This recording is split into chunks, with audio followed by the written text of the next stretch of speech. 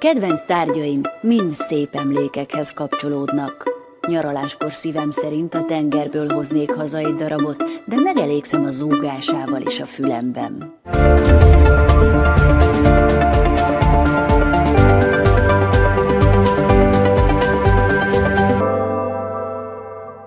Ha jelentőséggel töltjük meg őket, a tárgyak dalra fakadnak, mondta Thomas More. És valóban, tárgyak vesznek körül bennünket, segítenek, emlékezhetünk, általuk becsben tarthatjuk őket, lehetnek fontosak, hasznosak, vagy éppen haszontalanok, mindenképpen életünk fontos részei. A multiverzum mai adásában szó szerint a tárgyra térünk. Tartsanak velünk! Tárgyhalmozás felsőfokon, a kényszeres gyűjtögetés. Jelentéssel töltve, átlényegült tárgyak nyomában. Kosárlabda és fizika, a sport tárgyai. Koltai Bori a mai adásban megnézi, hogy hány tárgy szükséges egy tárgy elkészítéséhez.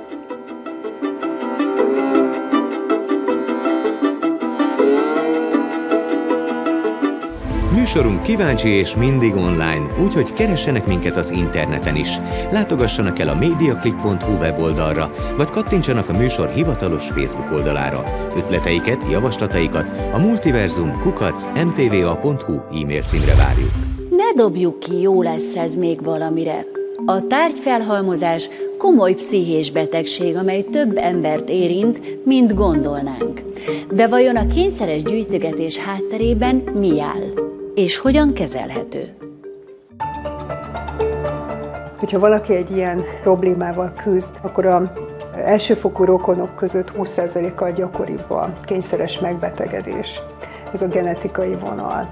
De van egy pszichológiai vonal is, hogy jellemző, hogy esetleg egy szeretetlen környezetben nőtt fel, ahol kevés figyelmet kapott, kevés volt az intimitás, az odafigyelés, és ő a tárgyakhoz való ragaszkodástól várja ezt a pótlást, a biztonságérzetének a pótlását.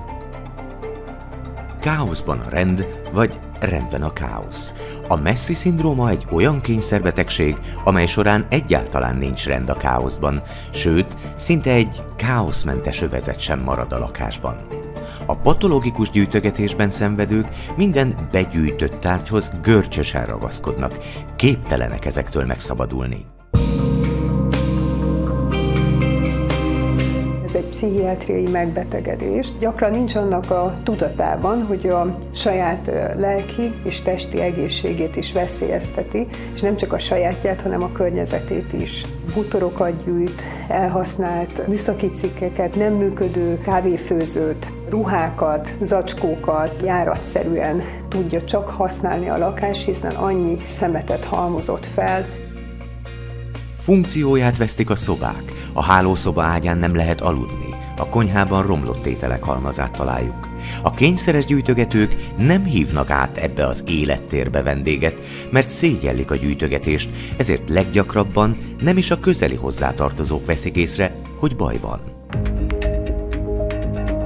Általában a szomszédok szokták jelezni, vagy a rokonok, családtagok, hiszen élhetetlen az illetőnek a környezete, koszos környezetben él, akár még élő állatokat is összegyűjthet, amit nem megfelelő körülmények között tartja őket. Sok esetben például egy másik pszichiátriai kórkép mellett alakul ki mondjuk például egy, egy, egy skizofrénia, ami a, az alapbetegség, és egy kezeletlen skizofrénia hozzáteszem, vagy az illető tehetetlennek érzi magát a, a betegség betegséggel szemben, és maga a szorongását és ezeket a negatív érzéseket próbálja mondjuk egyéb más addikciókkal, alkohollal gyógyítani, és itt idézőjelbe teszem a gyógyítást, ami nem egy jó út, elmélyíti a problémát. Innentől már nehéz a kiút, mindenképpen szükséges a pszichiátriai kezelés, és ez kombinálva különböző pszichológiai terápiákkal. Fantoli Márton fotográfus a nagyszülei lakásában szembesült azzal, milyen méreteket ölthet a kényszeres gyűjtögetés. Diplomamunkáját ezért e jelenség köré építette fel. Bemész a folyosón, és akkor jobbra kupacok, balra kupacok, és akkor egy ilyen kis keskeny folyosón kell tulajdonképpen elmenned az ajtóig. Azt szerettem volna üzenni, hogy ez így nem jó, és tulajdonképpen ez így tartalatlan. És ugye a nagyszüleimnél is azt hittem, hogy ha látni fogják ezeket a fotókat, akkor meggondolják magukat, de ehelyett kértek egy darabot a képek, képekből, és kirakták a falra. tehát tehát ez, ez, ez, szerintem ezzel nem lehet, nem lehet ezt, ezt a dolgot megváltoztatni. A kényszeres gyűjtögetés a genetikán és a pszichológiai tényezőkön is múlhat, ám kiválthatja és mélyítheti olyan életesemény is, amely során eluralkodik a betegen a szorongás. Válás, társ elvesztése, gyász vagy az egyedüllét elviselhetetlensége. Előfordul az, hogy már ő maga érzi azt, hogy itt baj van, és segítséget kér. Amikor tudja, hogy baj van, de annyira nagy a szégyenérzete és a tehetetlensége, hogy mégsem kér segítséget, ilyenkor szó közben egy rokon, aki kézen fogja és elviszi a családorvoshoz, ő pedig utalja tovább. Jó eséllyel ezek az emberek gyógyíthatók kontrollal, orvosi és pszichiátriai segítséggel, viselkedésterápiával, a prognózis az nagyon jó. Van a tárgyaknak könnyük, írta Babics Mihály. És valóban, ahogy mondani szokták, néhány tárgynak lelke van, különösen azoknak, amelyekbe az ember belerejti a sajátját, mint például egy kézzel készített hangszerbe.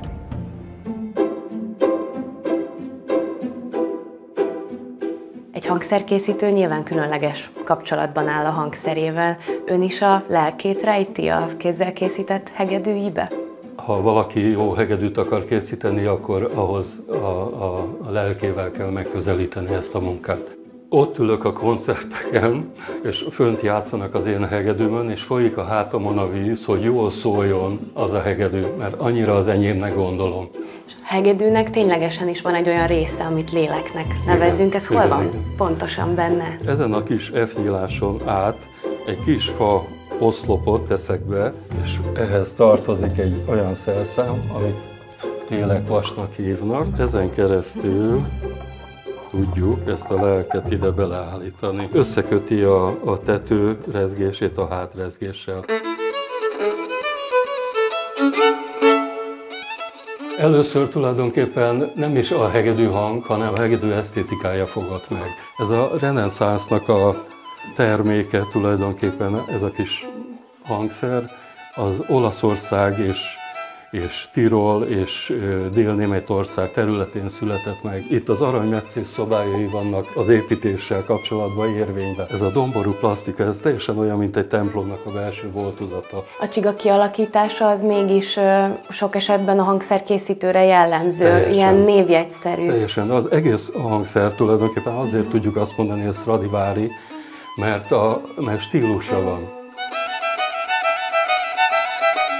Milyen apróságok számítanak, amik már változtatnak a hegedűnek a hangján? Igen, hát például a méretek kialakulása. Ezek régen a barokk időkben tért hegedűk voltak, térden használták, vagy pedig csak neki szorították a melkasnak, de ez fölkúszott, a technikával fölkúszott, mert ahogy az állával fogta meg a zenész, a keze szabadabb lett. Itt tulajdonképpen minden, minden számít. Az, hogy ez a nyak milyen szögben van beállítva, itt milyen magas a láb, hogy, hogy milyen ö, területet kell a rezgésnek átjátszani ahhoz, hogy elérjen a tetőhöz.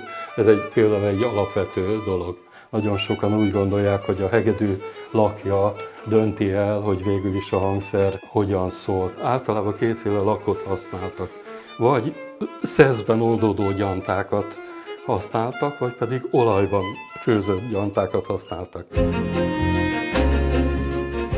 Mi az, amin ön most dolgozik itt a műhelyben? Amióta nyugdíjban vagyok, azóta a javításokat megállítottuk, és csak új hegedűket készítek. Ma én is tanulhatok a mestertől, ugyanis hamarosan felcsapok hangszerkészítő inasnak.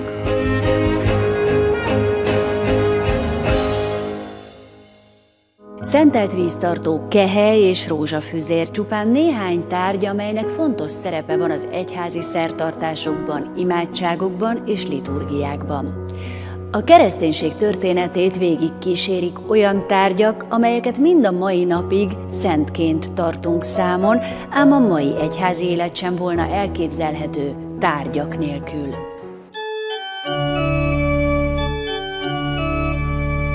Kereszténység ebből a szempontból persze egészen különleges, mert azt állítja, hogy Isten maga beletestesült a világba, a fia emberré lett, és így belépett a tárgyak közé.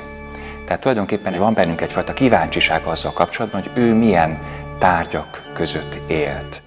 Nem csak a kereszténységben, hanem minden vallás történetében fontos szerepet játszanak a tárgyak, amelyek fogódzópontot jelentenek ahhoz a bizonyos másik világhoz, a transzcendenshez. Vannak erekjék, amelyeket azért tisztelünk, mert a szentség közelébe visznek bennünket. Tehát más értelemben szent egy olyan ruhadarab, amelyről például a középkorban úgy gondolták, hogy Jézus érintette, más értelemben szent egy-egy olyan tárgy, amelyet egy szent érintett.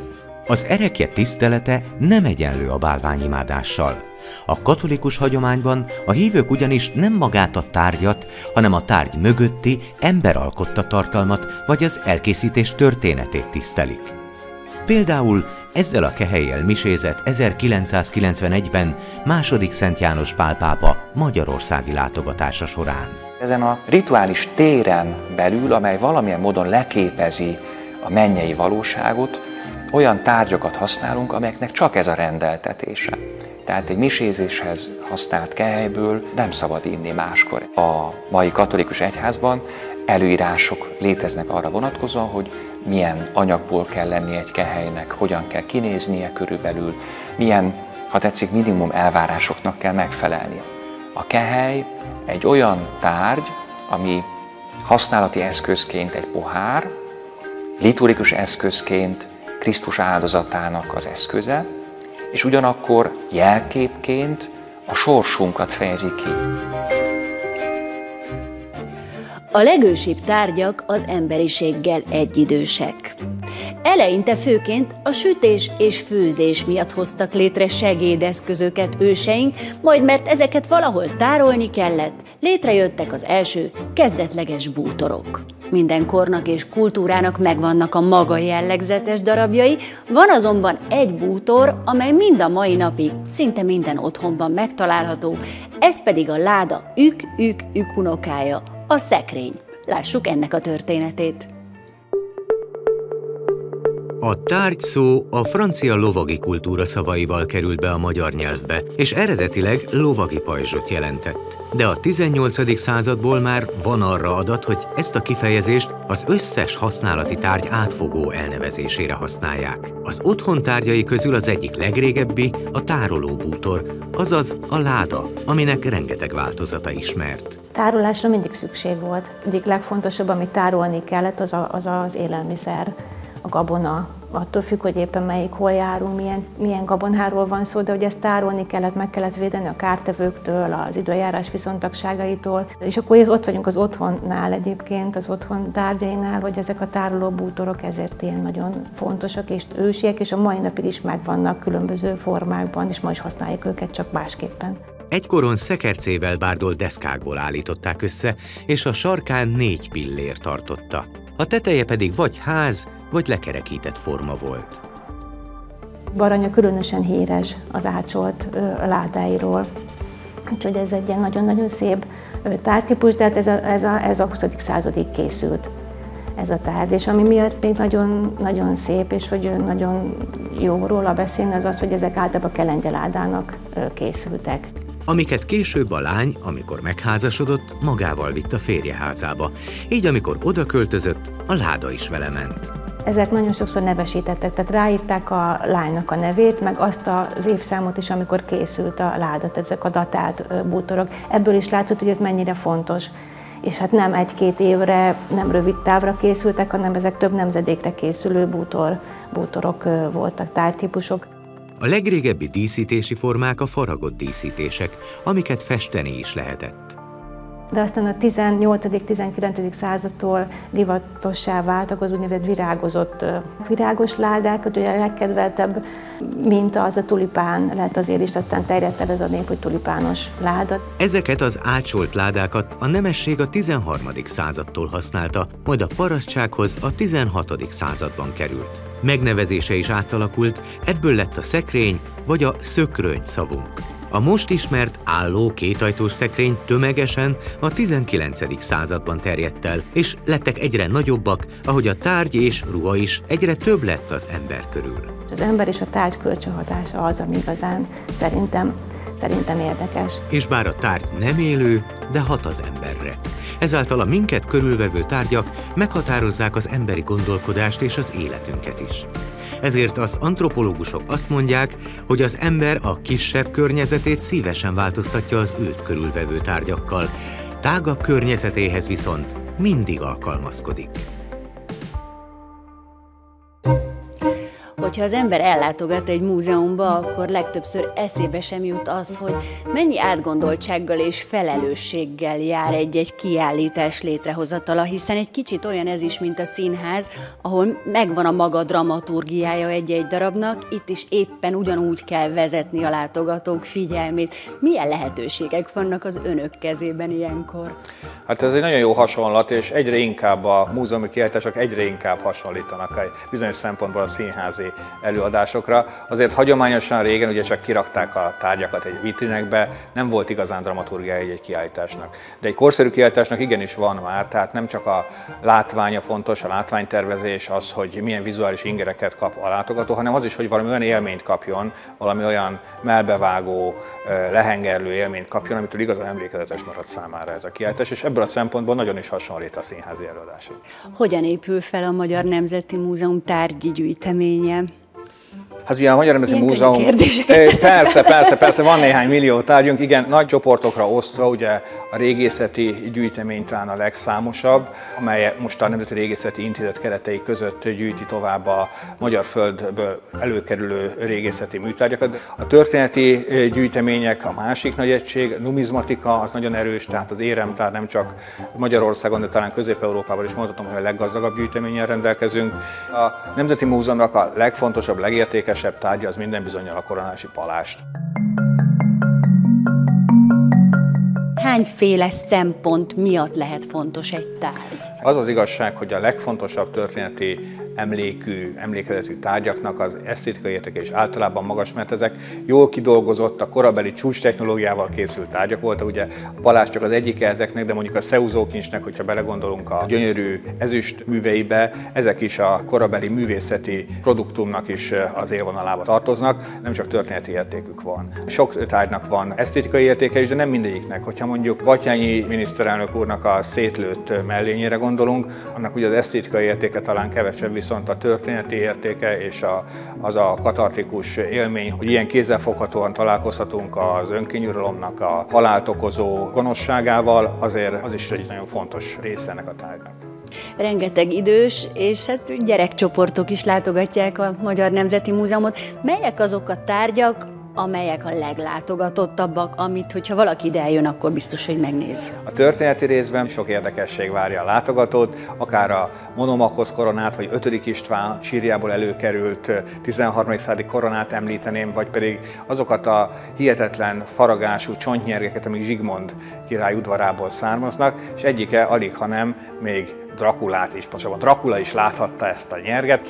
Miért fontos az, hogy a tárgyakon keresztül is megismerjük a történelmünket? Egyrészt sokunk vizuális lény, és kevésbé ragadja meg esetleg a szövegek olvasása, hogyha a tárgyakkal találkozik, akkor kicsit élőbbé válik a történelem számára, és talán jobban megjegyzi, felkelti az érdeklődését, esetleg segíti, hogy utána olvasson, hiszen azt gondolom, hogy az, hogy tudjuk, hogy kik vagyunk, honnan jöttünk, mi a múltunk, az egy nagyon fontos dolog, és hát ezt a könyvek mellett azért a múzeumokban lehet legjobban megismerni.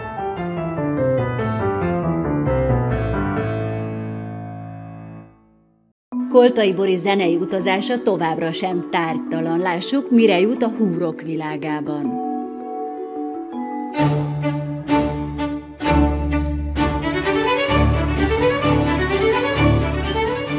Tárgy, a hegedű elkészítéséhez is különböző tárgyakra van szükség. Milyen eszközök kellenek a hegedű készítéshez? Igen, hát nekem az évek alatt rengeteg szerszámom összegyűlt, ezt berakás metszőnek hívják.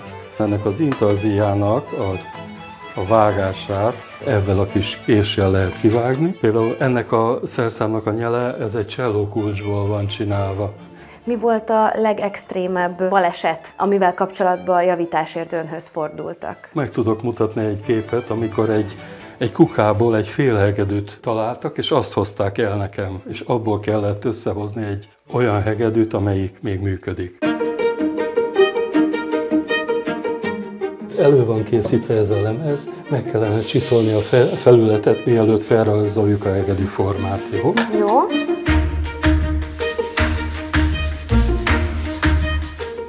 Akkor ez egy Temesvári Stradivári sablon. Igen. Aminek azért gondolom vannak szabvány méretei. Persze, ez 35 és fél centiméter hosszú. Amikor ki van vágva a forma, akkor az körülbelül így néz ki. Ez ugyanígy a tető és a hát ki van vágva, és pár cseppenyvel egymáshoz van ragasztva. Utána nagyon szépen körbe van reszelve finoman, hogy a, a két fél egyforma legyen. Stimmt. És akkor most megmutatom, hogy hogy lehet ezt szétnyitni. Most fogunk hallani ilyen Ijesztő hangokat. hangokat, igen. Ilyen jó mutatvány, amikor, amikor így kinyitjuk. Ehhez valók ezek a pici gyaluk. És az a lényeg, majd megmutatom, hogy itt különböző méreteket kell betartani. Nagyon nehéz. Most meg szeretném kérni, hogy egy lélek udacskát csináljunk.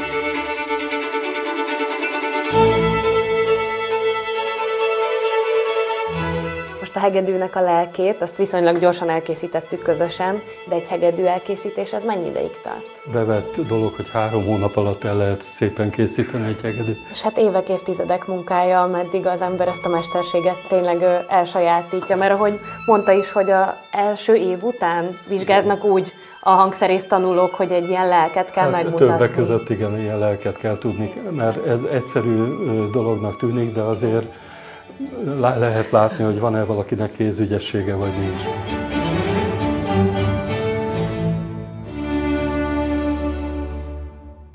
A tárgyak lehetnek kiállítási darabok, dekorációk és eszközök. Sokszor talán bele sem gondolunk abba, hogy hányféle tárgyat használunk, például sportolás közben.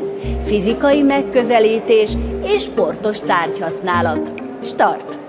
Tárgyak nélkül elképzelhetetlen a sport. Nem is gondolnánk, hogy mennyi mindenre van szükség egy-egy sportágban. Szemüvegre az úszáshoz, a kalapácsvetés külön sportág, de gondoljunk akár csak a futócipőre. Sportos tárgyak, tárgyas sportok. A futás szinte minden sport alapja, még a legnépszerűbbeknek is, amik többnyire a labdajátékok. Ezeknél elengedhetetlen eszköz a labda, de a különböző sportoknál más-más alakja, súlya van a labdának. Azért, mert több dologgal kerül kölcsönhatásba. Amikor eldobtam a levegőben, akkor az egyik hatás az a földnek a vonzása, tehát megpróbál majd visszajönni a talajra, tehát a kezdősebességet tudom megszabni, hogy merre repülne a labda. Viszont van egy másik közeg is, amivel ő kölcsönhat, az a levegő. Ez egyrészt lassítani fogja a mozgását, másrészt, hogyha megcsavarom a labdát, akkor eltér az iránya. Tehát ez a Magnus hatás, lássuk, hogy mit ér ez a labda, amikor a levegőben mozog, ugye akkor e, szemben vele az a sok-sok levegő molekula rohan, tehát most bekapcsolom a hajszárítót, és ugye látjuk, hogy szépen felemelkedett ez a pingponglabda, és ha kitolom oldalra, akkor visszamegy igaziból, visszatalál erre a helyre, pontosan amiatt, hogy ő olyankor eltéríti valamilyen irányba a levegőt, és a másik irányba vissza, visszahúzódik. Tehát ezt lehet különböző labdákkal eljátszani. A kosárlabdánál fontos, hogy a labda pályájának a vége a kosár legyen. Könyök nyúlik, csukló csapódik, ezt úgy tanították nekünk. Az a lényeg, hogy először kinyúlik a könyök, és onnan csuk, csukló az rácsapódik, és az ujjak a gyűrű felé néznek. Ez a három ujj a legfontosabb a, a dobásban. Az a lényeg, hogy amikor elengeded a labdát, akkor ez a három ujjat feltétlenül a gyűrű felé nézzen, ezzel irányítod a labdát. a kosárlabdát. De mi a helyzet a többivel? Gáspár Mátyást bevontuk egy kísérletbe. Különböző labdákkal dobott büntetőt. Először egy gyermekméretű kosárlabdával próbálkozhatott. A kicsi labdával sokkal nehezebb volt normálisan dobnom, hiszen gyakorlatilag szerintem tizede a súlya a rendes labdáénak, illetve a mérete is sokkal kisebb, ezért a fogásával is problémáim voltak. Most a kézilabdával fogok dobni,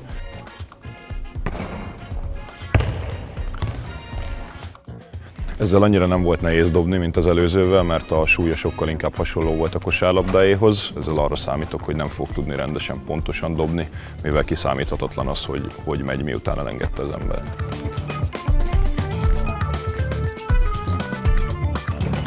Igazából amit ezzel tapasztaltam, hogy egy kicsivel talán jobban irányítható volt, mint én azt gondoltam. A kísérlet is bizonyítja, hogy a sportban több okból kifolyólag is szükség van a fizikára.